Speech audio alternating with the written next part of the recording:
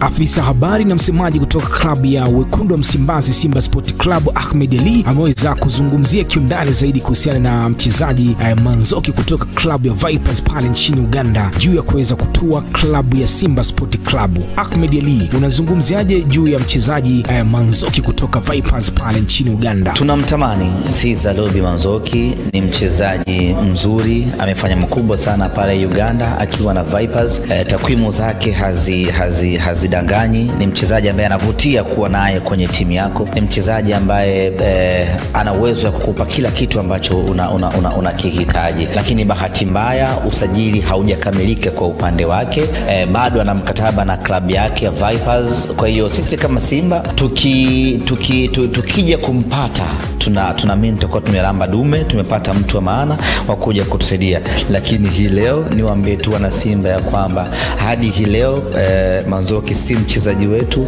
bado ni mchezaji wa Vipers. Nini maoni yako? Hebu weka komenti hapo chini utuambie. Je, Vipers wakimwachia Manzoki na akaja Simba, Simba watafanikiwa kiasi gani kumpata mchezaji huyo?